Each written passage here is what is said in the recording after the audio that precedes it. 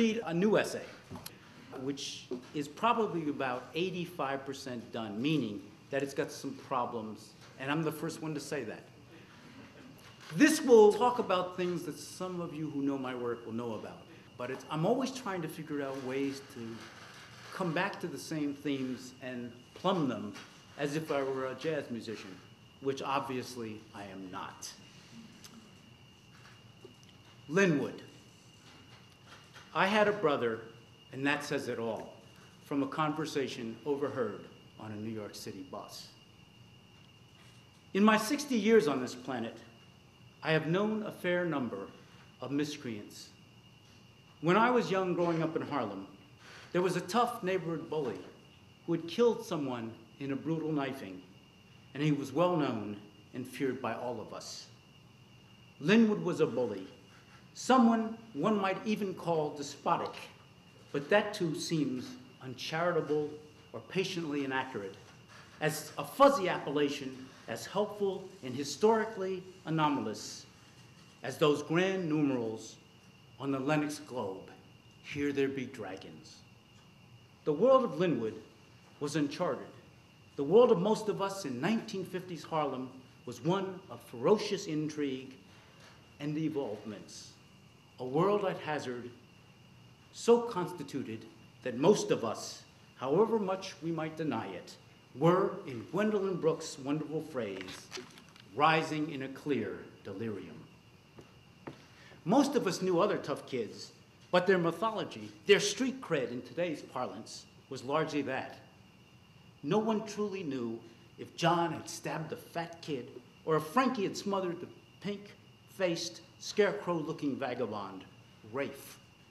But Linwood acts were verifiable. There were bodies. Indisputably, my neighborhood was unusually safe.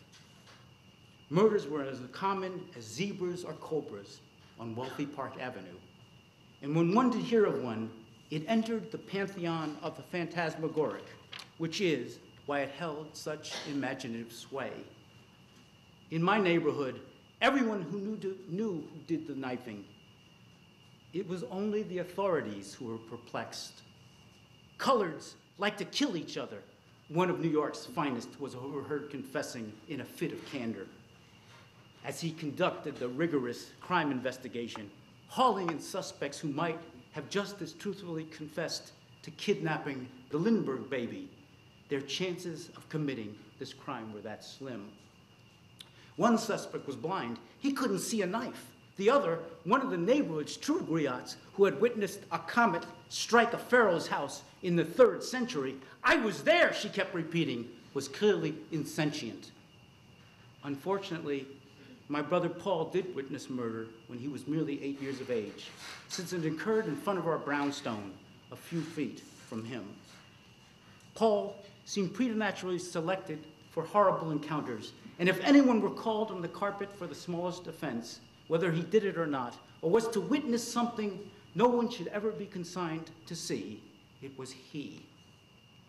And Paul seemed inevitably to attract the attention of the police. And for that reason, and a host of others less easy to enumerate, he hated them. When he was six years old, Paul was held by a policeman for two hours in a Drury police station for stealing money from someone four years his senior. Paul was no saint, but he was not a thug at age six. I doubt if anyone truly is. At the time, Paul was going to the collegiate school, the oldest independent school in America, where I too languished, and he was doing well.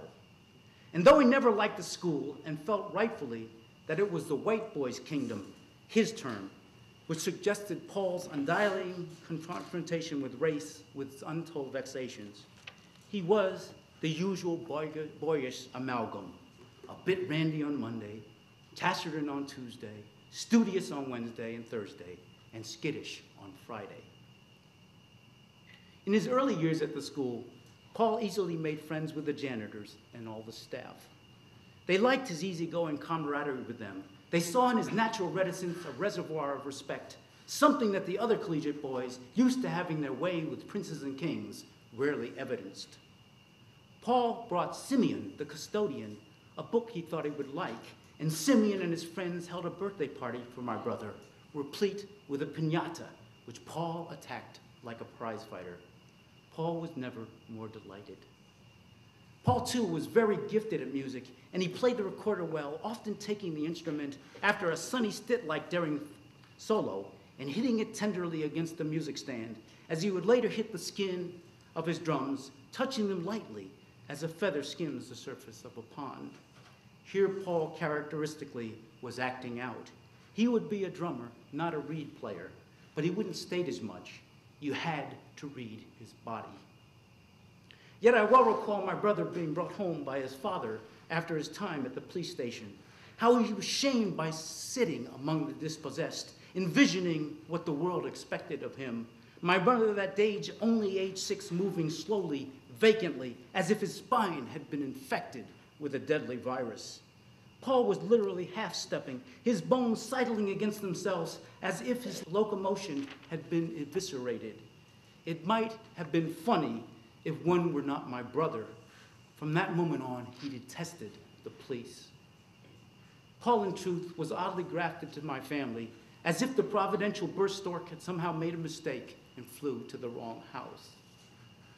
When Paul was three, I recall unpacking his bags and heading out of our Harlem residence with that grim determination that is the hallmark of children.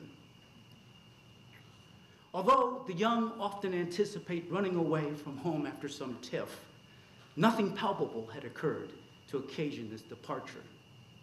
Paul was simply giving bodily testimony to something ineluctable, although it now hurts me to admit it. Characteristically, Paul did not belong to us. He was a night person. My parents and I were morning people. Paul was unusually quiet. We were story rich. Paul loved the streets. We were terrified by them.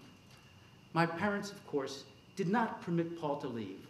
Although they let him walk a hundred yards from our house, watching him from the window just before he engaged the corner and would become invisible, like Annie, a girl we'd heard about who had, on a bright Sunday morning, simply disappeared a notion as unusual and frightening in 1954 Harlem as seeing the giant sinkhole on 77th Street, Riverside Park Field, a place where all of us would go to play softball on weekends. Part of that orchestrated, high minded overture to get the ghetto kids to see the greater New York. A miraculous hole so enterprising that one could witness the water running under the field like sluicing fingers of quicksilver as if the world above needed a busy subterranean terrarium. In the three years I watched the hole, it would grow larger and more menacing, brimming with bottles, potato chip bags, broken dolls, condoms, all rising like a demented volcano.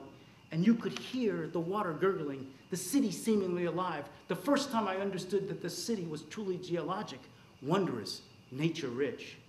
Young Filbert, who had six fingers on one hand, five on the other, and had recently arrived from South Carolina, part of the Great Migration, said that even Annie might be in that hole.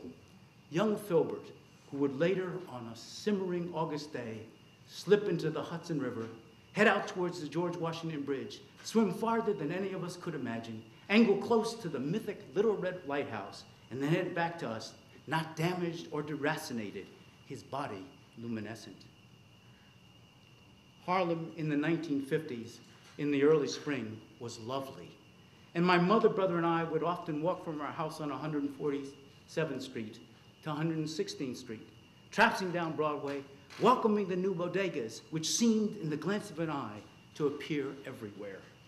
The Spanish lofting like a splendid aria, the young men with children proudly hoisting them on their shoulders like precious gifts, the zoot suiters already beginning the process of growing obsolete, up to less than good, never bothering us. The young men and the oldsters who saw my mother as beautiful, tipping their hats, a few of them with studied decorum saying, It's a beautiful day. A few of them watching my mother, then thin hipped, a bit lustily, as she gracefully sauntered away.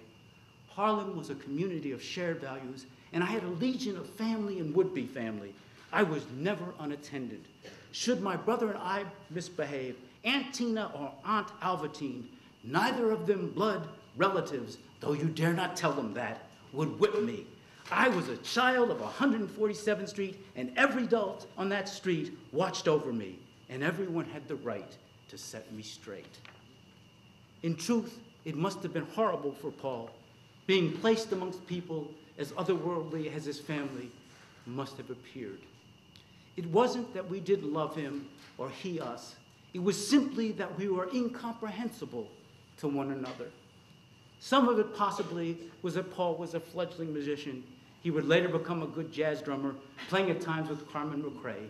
Some of it, just as truthfully, was that Paul, by desire and impulse, loved life, although he seemed to be doing everything imaginable to forswear it, be it with alcohol or pills. Some of it, quite simply, was human picadillo, and the realization that our desire to have Paul live might yet require an alembic that we could not discern.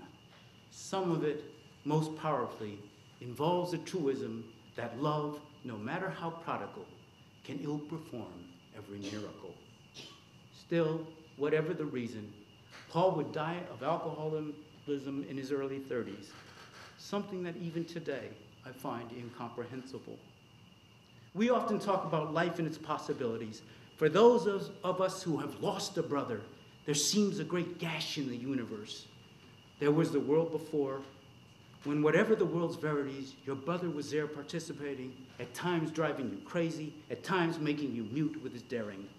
Often, when I am talking with parents at Cornell, trying to be the good advisor, knowing how much their children mean to them, the parents will, in an understandable moment of duress, worry that their child might not get accepted to Harvard Business School or get the plum job on Wall Street. Sometimes without meaning to, I'll stammer, Is your child alive? For it is not a given. This, of course, is not what the parent wishes to hear. and in ways it seems a bit cruel, and yet it is my most profound ministry. Make a big noise, my brother used to say, but he was resoundingly silent moody, imperturbable, and not in the way of a monk or an aesthete, not in a way that is, that was serviceable. Paul was an activist, and was an activist. That is, you knew he loved you because he performed it. His body in its oscillations was his language. If you couldn't comprehend this, Paul was merely a cipher. In fact, if you didn't know this about him, if you didn't understand his inner life, that interiority that was as hard as an uncut diamond and just as murky, you might have even been scared of him, for his solemnity might be perceived as truculence or anger, none of which was true.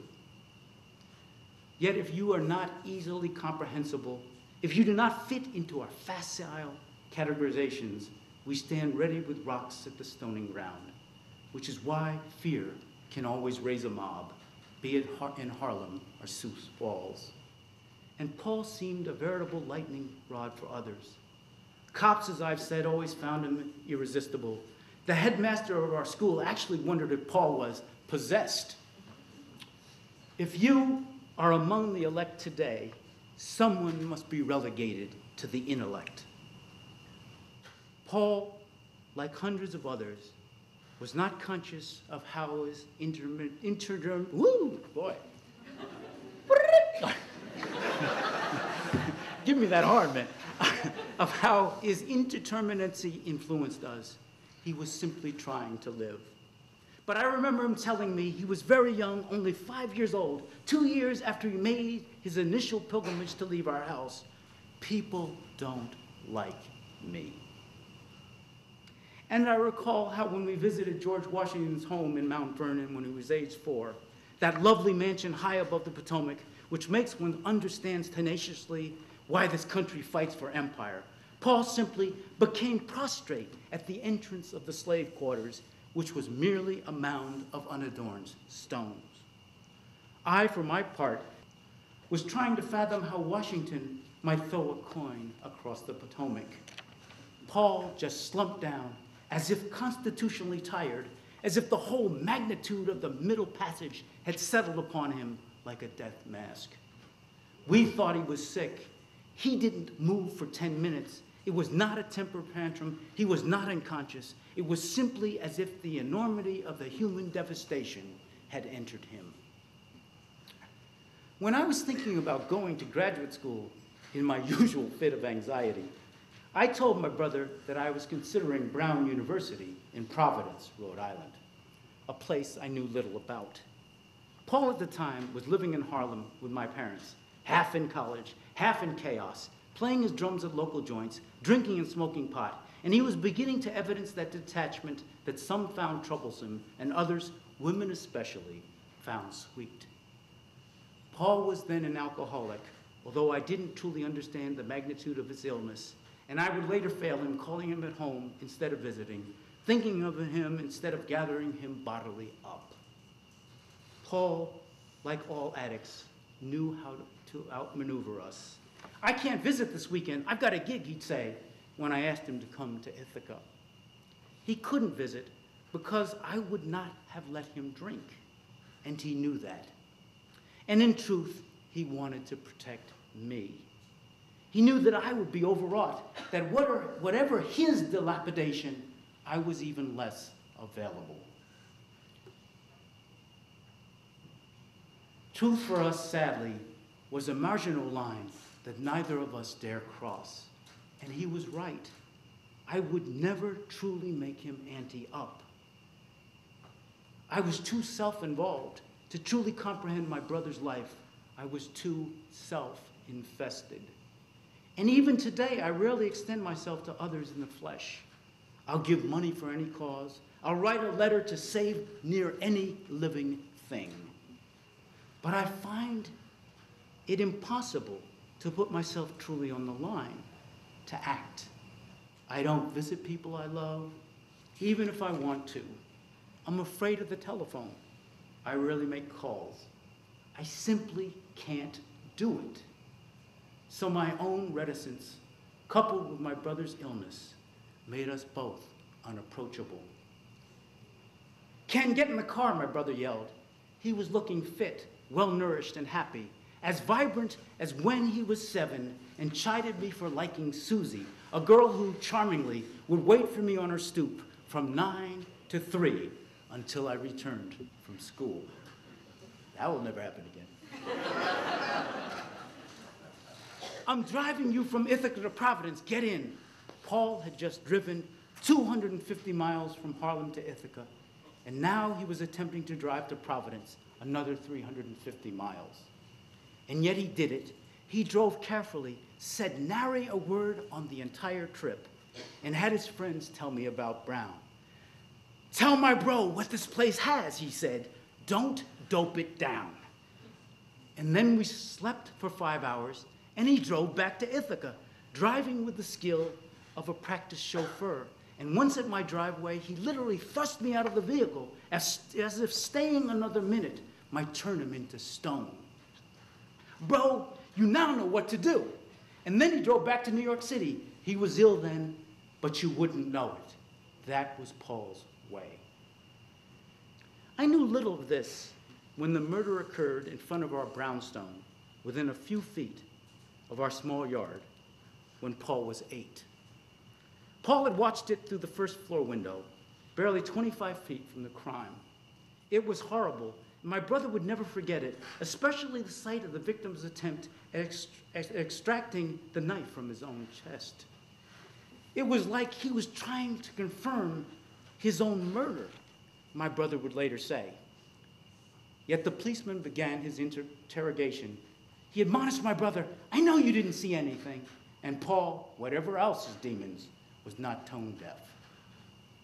In Harlem in the 1950s, the police acted like gods, and my brother would never cower.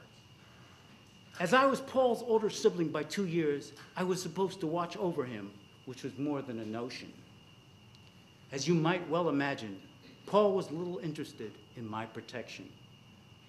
I well recall Paul giving a patrolman the finger after the patrolman stopped his car, police car and asked him a minor question concerning his friend's whereabouts. Paul was merely age 10. The officer was bored. Since the officer was clearly not the least concerned about my brother's friends, three kids who could barely manage a pimple, he quickly returned to the patrol car. And yet Paul, who was then as thin as a car antenna, was itching for a fight. Paul didn't like the police, he didn't like their assumed superiority, and he didn't like to feel as if he were an ant dancing on a Cadillac, which the police, in their intemperate questioning, always seemed to demand of black people. When Paul's body tilted to the left and his head developed a slight upward inclination, I knew he was no longer interested in quiet palaver. And yet Paul was only 10, which meant that he knew everything and nothing. And this was America, and I was his brother. Suddenly, the officer jumped out of his vehicle, and I was certain that he had somehow intuited my brother's disparagement. If I was worried, my brother was boisterous. Paul stood up, looked the officer in the eye, and said, Did you forget something? Your gun, maybe? I was aghast. The cop looked at my brother as if he had finally seen him, yet things were still unfixed, gauzy. This is a very dangerous moment for anyone, but especially for blacks and whites who know so little about each other, especially that is when one of them has a gun. You're crazy, the officer said, shaking his head as he walked away with that hip strutting swagger, which is someone's idea of manliness. Undeterred, Paul just pointed at his head and slowly rotated his long fingers counterclockwise. Yeah, I'm crazy, asshole, he said. Linwood, who was only 16 when he killed that boy in our yard, was given a wide berth by everyone in the neighborhood. And my friends would try to hide, slinking in the alleys when he appeared. Linwood had an odd way of simply becoming present. There was a pause in the scenery. One of the tenants might be yelling a belated welcome to a passerby, and Linwood would materialize like an apparition, mayhem and horror trailing in his wake. Linwood was malevolent, truculent, and brittle, and it seemed as if we were always in mid sentence with him, as if the subject had been lost, but the verb was firing like a crazed piston, so that one might perceive the action but not the content. One time he brutally hit a boy for simply looking as if the boy had a question. Don't look stupid, Linwood yelled, and popped him in the head, the young boy's face appearing like a symbol of 20th century torment as the blood flowed down his chest. And yes, yet I also remember that Linwood presented my mother with a beautiful rose one Sunday morning. The rose was big, skyscraper tall as Fred, the neighborhood floriculture, culturist termed it, though Fred was known for his hyperbole. Linwood never explained this lovely gesture. My mother was simply undone by his generosity. Like so much that happened in those years, it didn't make much sense to me, or at least I did not try to understand it. My friends thought that Linwood had gone crazy. I simply thought that he liked my mother, which was not difficult, since she took everyone seriously, often bringing them a sweet or praising some act of unheralded civic responsibility. My mother, for example, began a neighborhood preschool with mixed results. For a few weeks, the children came, but then a few of them discovered basketball. Then a few others, the local movie theater. In a few weeks, it was just my brother and I learning about the hidden treasures of Harlem. Yet people valued my mother's high principled affirmations even if they found sustenance elsewhere. And my mother somehow saw something precarious and incandescent in Linwood. There's something sweet in him, she often said. After the Rose incident, I was determined to say hello to Linwood, thinking my acknowledgement might limit his possible scenarios for havoc. If you are constitutionally cowardly, it is best to take what little, whatever, whatever little fight you have immediately to the confrontation. Retreat will hasten soon enough. Yet Linwood never truly threatened me. In my case, thank goodness, it was merely all mouth. He was even gentle in his own peculiar way. One day, with a solemnity reserved for a parish priest, Linwood told me that he wanted someone out of Harlem. I'm going to die, he said. I'm going to continue to hurt people, he continued. The last, last statement is precisely enunciated as Julie Andrews' thrilling elocution in Camelot. I want you out of here, Linwood commanded, his entire body suddenly yawing between anticipation and dread. with a new evangelizing insistence that might even smash the ghetto. It so frightened both of us. A wish I now realized could be a dangerous thing. Then Linwood smiled, his face seeming to gather where his eyes were narrowing. And seeing how frightened I looked, he became contrite. Shit, I'm not going to kill you. You'll piss yourself to death.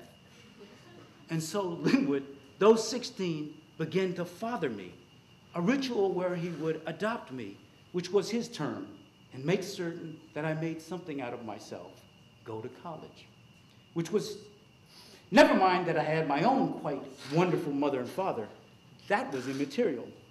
Linwood had made his decision. I was going to get out of Harlem. I was his one good thing, his one good act. During May and December, Lynn would appear, ask to see my grade report, and I'd hand it over, trying to make it look as if this was the most natural act in the world. Luckily, I was a good student. In all honesty, in the early years, the school I attended rarely gave you grades. They provided long written responses, two paragraphs for each class. Linwood, as I recall, didn't read them. He'd simply tell me that I'm doing well, and so he didn't need to give me an ass whipping. In retrospect, it is even quite possible that Linwood had consulted the stars. He remained so ethereal. In my self-involvement, I really did not comprehend how much Linwood's gesture meant for him and for me. I did do well in school. My parents would not have otherwise, and I went on to graduate school and teaching at Cornell. And I didn't see Linwood until I learned that he had been sent to prison for killing an undercover cop, a crime that would necessitate a death sentence. Hearing that he was on death row, I decided to visit him at Sing Sing prison, a drive of three hours from Bucolic, Ithaca. I hadn't seen him in 20 years. He was thin, wiry, and unusually meditative. And he had that sharp boned figure that one immediately wants to feed, to fatten up, that look that my Aunt Josie used to call sparrow needy. For a moment, I couldn't conceive that he would have frightened anyone. I saw, I guess, for a second, what my mother gleaned in him, his unsullied sweetness. Ken, good to see you, Linwood said. But why did you come? Did you miss your ass whipping? Immediately, I recalled the old Linwood. The body may change, but the mind does not. His remembering the one thing that I too well connected with him surprised me. And his elation reminded me that he was mercurial, that things could easily move from good to bad, from commonplace to perilous. I wanted to see you and thank you for helping me, I told him.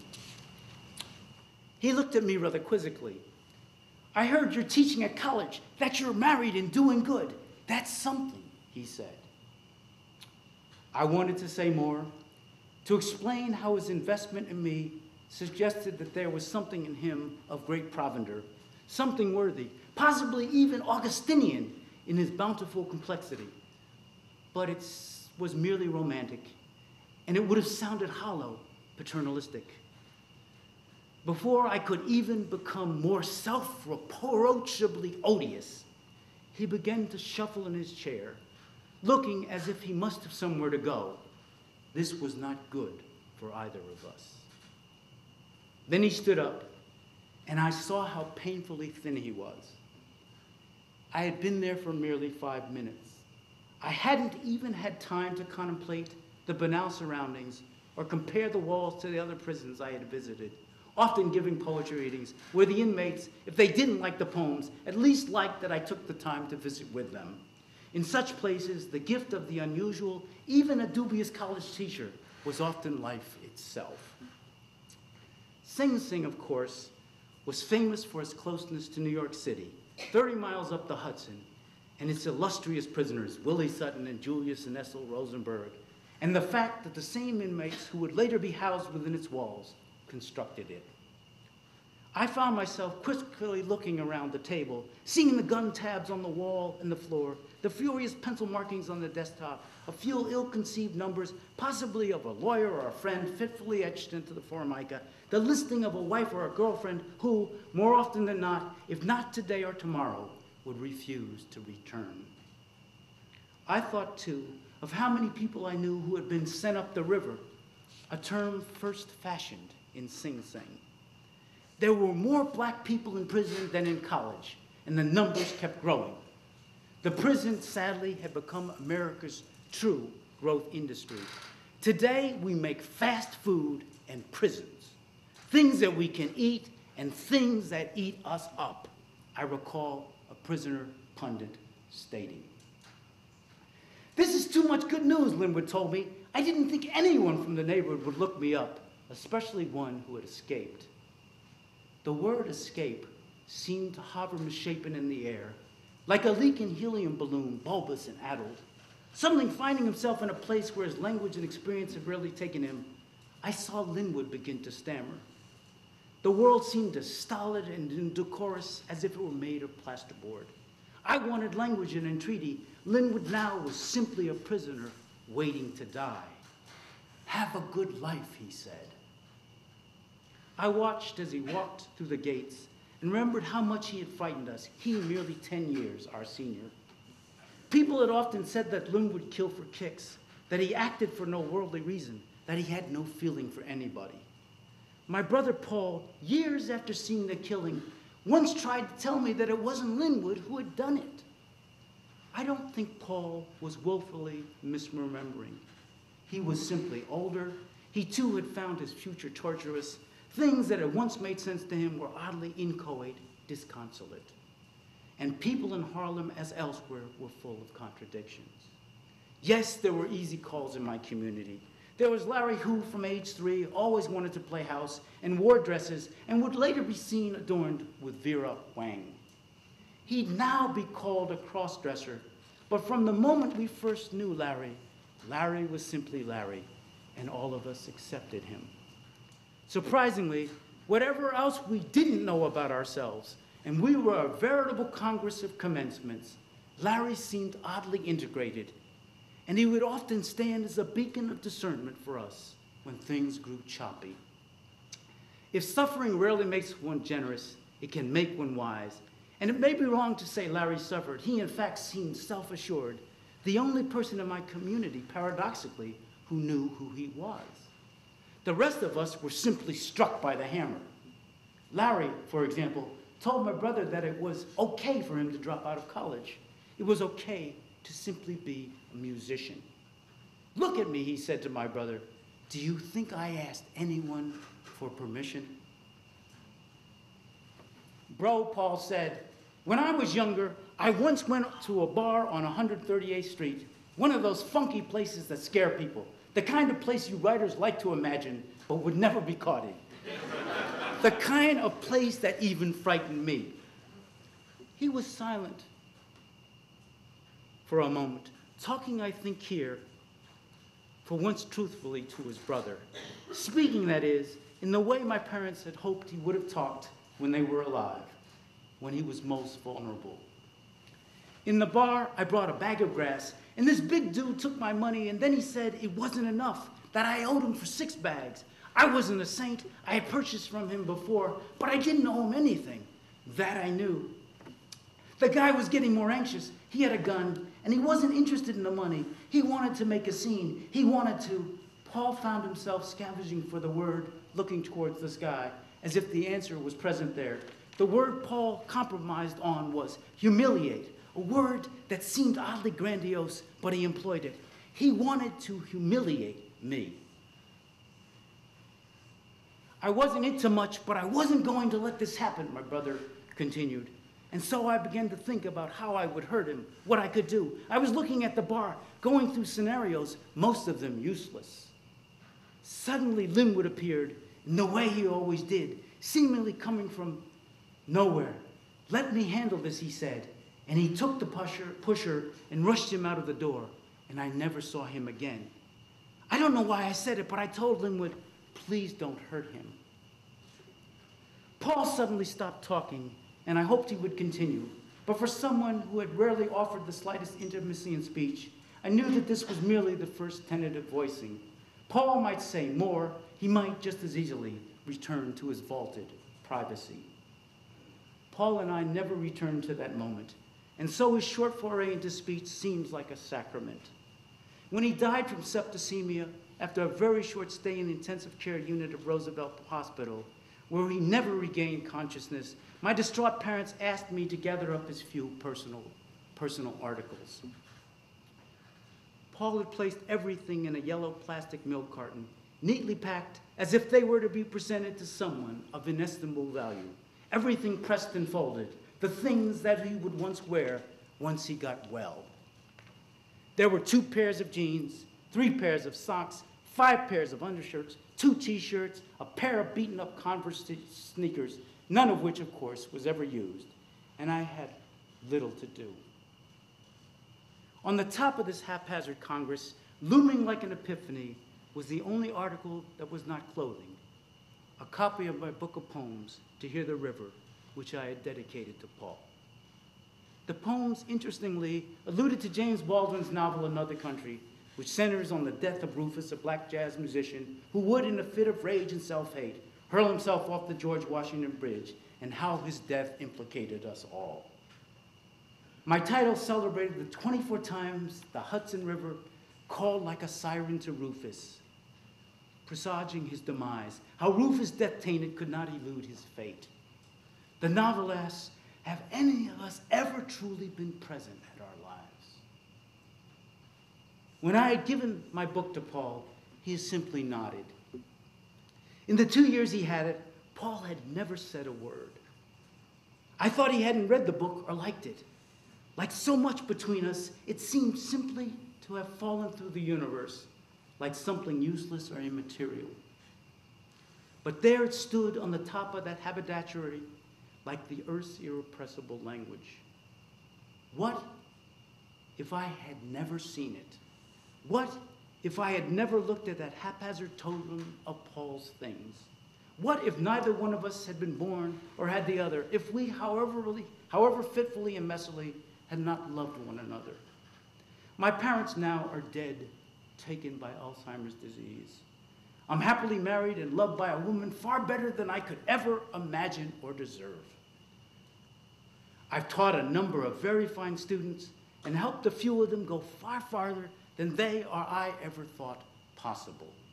I've had wonderfully supportive friends and colleagues. It's been a good life. You're my brother, Paul often said. You're my brother, and both of us, in good and bad, whatever can be said about us, tried desperately to understand what that implied, to take on the risk of presence as Baldwin would term it, to bear witness to what we did or did not do. Life is a chain of unalterable balances and failings, and it is also just as powerfully the tale of drives to Providence and Ithaca forays into dangerous clubs by ones who truly ventured there and by ones who could only venture there as an act of the imagination.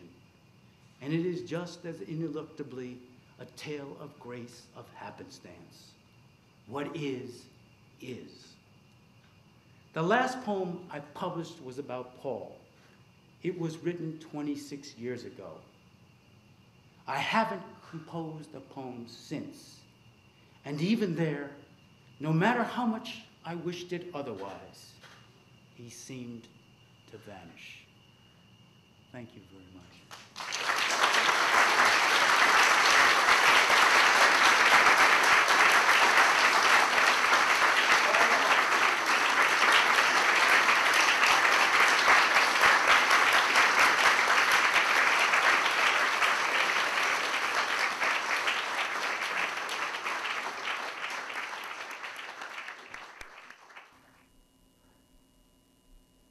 I will read a number of poems today in honor of my family in New Orleans. I have actually a cousin who lives in the Ninth Ward, and I recently went to visit him, and he showed me a quote gift from Katrina, which was a gigantic watermelon. The watermelon was full of poisonous, toxic water. And I've always thought about this as being, in some sense, an apt metaphor for the ways in which the country responded to that ordeal. It was a horrific thing to happen to people, and this nation handled it in a way which suggested both that the people did not matter, and I'm talking about the people of New Orleans, right? But that everything that we took as being sacred was, in some sense, not taken into account. So the poems I read today, I want to read to suggest, first of all, how important and dear everyone in New Orleans is to me and to this country and to the world, and to celebrate both the great jazz that comes from that part of the country, those incredibly resilient people who continue to make us wonder at what human beings are able to do and to survive and to triumph over, and to again my, remind us of what is really essential and sacred about the Afro American tradition, which is one of saying yes to life when it seems absolutely impossible. So, this is for all of those survivors who have taught us how mighty we can be in the face of the most calamitous thing imaginable. And may we continue to teach people what is really, truly essential about human beings. And also, may we always be mindful of the fact that no one ever got here on his or her own, that all of us, in some sense, have to remain witnesses for each other. That's the greatest act of faith and love and celebration. And this is my small attempt, very small attempt, to repay a community that has given me and so many others so much. To hear the river for Langston Hughes. I should also say that Langston was someone I knew as a kid. He's actually responsible for me becoming a poet. To the, to the chagrin, I think, of some members of my family who hoped I'd get a real job. But anyway, here's the poem. To hear, to hear, to hear the strong black song, to hear it, to hear the river, is to know its ways, to know the gaunt thin source which somehow, like Hughes, becomes long black water, becomes, so that much might come after it, a handhold, a griot. And so long black song comes dark, provident, absolute. And finally coming to the river, facing the dogs and white men, facing what is lost and possible, we hear the river, we hear the river, we hear the river.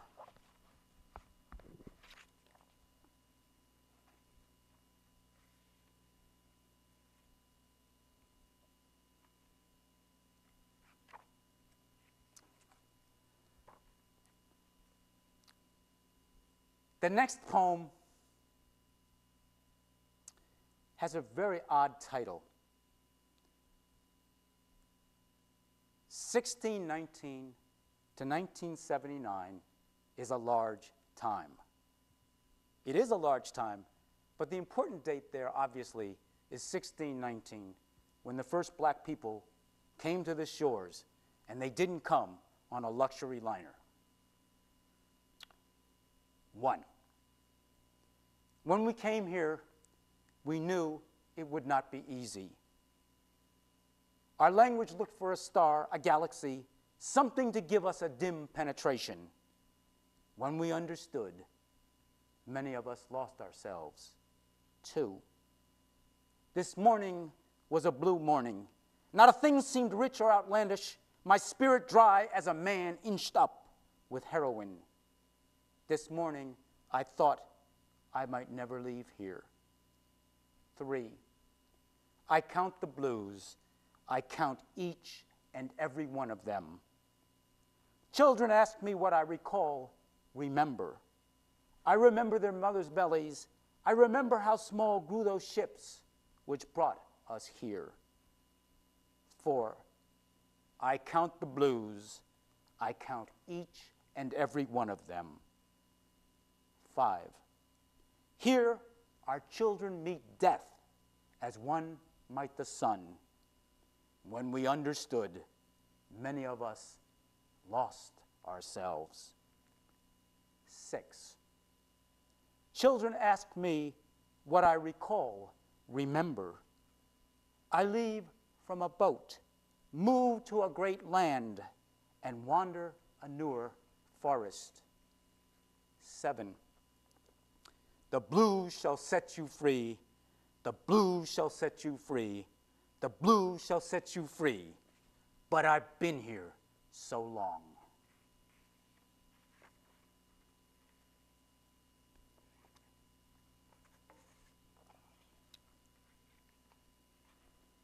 I've always wished that I was a horn player. Um, I think most writers wished they were musicians. So this is as close as I can get. And I'm reading it very mindful that this is centered on people who probably know more about the music that has, in some sense, created this great country than anywhere else on this planet. So this is for jazz and New Orleans, and also, of course, for Sonny Stitt. The glowworm. The glowworm works up the barren limb like a fragile index of the world. This is not his poem. He sings for himself. The poem here is the singing of the glowworm, how he struggles up the next section of bark, stretching like an accordion, his mind seething with his body's thumbless design. But this is not his poem. It is about lovers. It is about sound and sense and sound sense, innocence, incense, innocence. It is about games and lovers. It is about the struggle to be perfect, to make that love inviolable sacred. It is about the poet who needs language, who needs the world, who needs words to love him. It is about love, vast love, love of meanings love. It is about the soul which speaks beyond sense, which flushes like a quail after a startling. It is about love, the love of the smallest darting, the imperfect journey, the glow, glowing glowworm, worthy of itself and worthy then of singing.